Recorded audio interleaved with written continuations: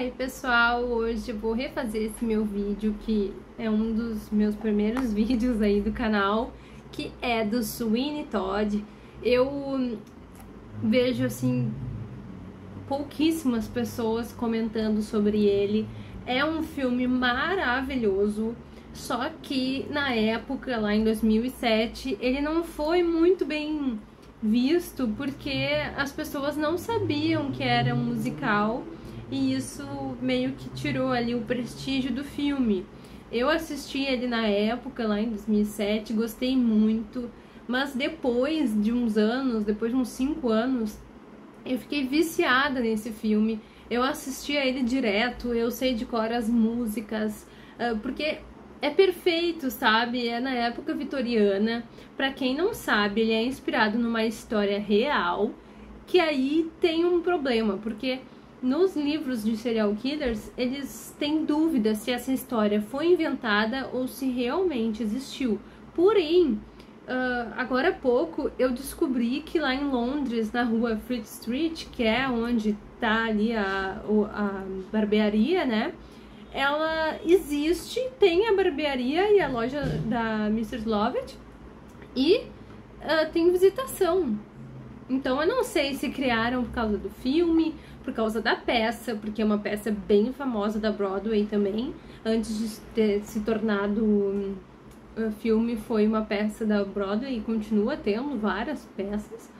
Uh, e aí eu não sei, né? Não sei dizer, mas eu fiquei chocada. Eu agora preciso ir um dia visitar, porque, meu Deus, isso é fantástico, muito legal.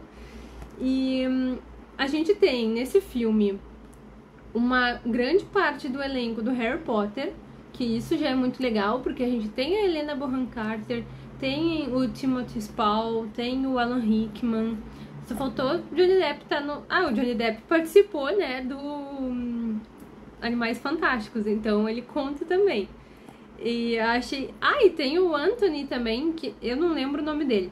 Mas o Anthony que tem aqui no filme também é do Harry Potter. Se eu não me engano, ele fez o.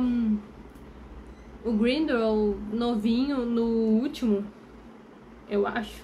O nome dele é Jamie Campbell. Não sei, se alguém sabe, escreve aí.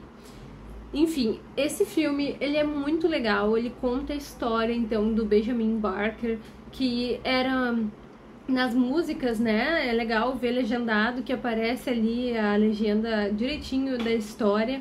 Então conta a história que ele era apaixonado uh, pela Lucy e aí ele era um barbeiro muito bobo, muito tolo, que um juiz acabou vendo ali a Lucy, se apaixonou e resolveu então tomá-la dele e colocar ele na prisão. E aí ele fica 15 anos preso. Quando ele retorna, ele se, se intitula agora Sweeney Todd e ele é um barbeiro e quer vingança todo pano, só que não sabe o que aconteceu com a Lucy e não sabe o que aconteceu com a filhinha Joana. E aí que começa tudo a acontecer. É, é sério, esse filme aqui é muito legal, vocês têm que dar uma chance. Ele tava aí no YouTube, não sei se ainda tá, se tiver eu vou colocar aí na descrição, mas agora ele tá disponível na HBO. Então, quem quiser dar uma chance, é muito legal e foi vencedor de melhor filme e melhor ator.